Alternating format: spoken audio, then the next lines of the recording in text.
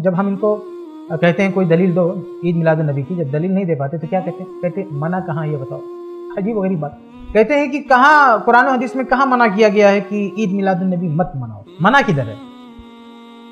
तो देखें, बात यह है कि हर हर बिदत से मना कर दिया गया उसमें यह भी आ गया। बिदतें, अब ऐसा थोड़ी है ना कि क्यामत तक नाम ले लेके कहा जाएगा कुरान हदीस में ये भी बिदत, ये भी हराम, ये भी नाम लेने लगेंगे, बताइए तो ये सारे नाम कहाँ समाएँगे? आप कौन सी किताब में लिखेंगे?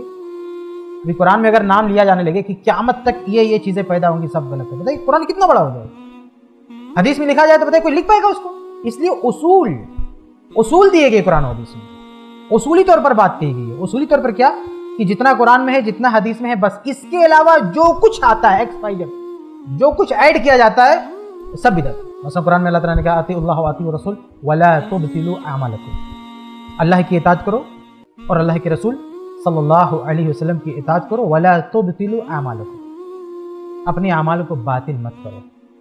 अपने अमल को बातिल मत करो। मतलब ये कि अल्लाह उसके रसूल की इताद से हटकर किसी और की इताद करोगे, किसी और के कहने पर कोई अमल अंजाम दोगे तो वो बातिल है रिजेक्टेड है, मरदूद है, उसकी कोई हैसियत नहीं है। और यही बात हदीस में भी है, सही बुखारी के हदीस है कि मन अहदस फ़ी अम्र ना हादा। और दूसरी बात में है, फ़ी दीन ना हादा, जो हमारे इस मामले में, यानी दीन के मामले में कोई नई चीज़ ईजाद करता है।